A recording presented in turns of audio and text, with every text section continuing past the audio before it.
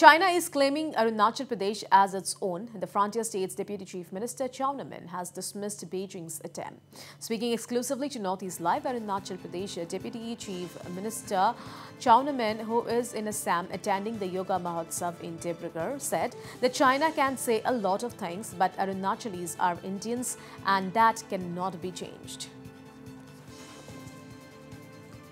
চাইনাই যি কওক নকওক আ- আমি ভাৰতীয় হয় হা হয়নে নহয় গতিকে আমি ভা- ভা- গতিকে তাতে কিবা আৰু দু- দুইটা ব- ব- কিবা আৰু বেলেগ প্ৰশ্ন হ'ব পাৰে জানো It needs to be mentioned here that the Congress party has asked the BJP-led Arunachal Pradesh government to react strongly on China's recent attempt to give Chinese names to places in the frontier state.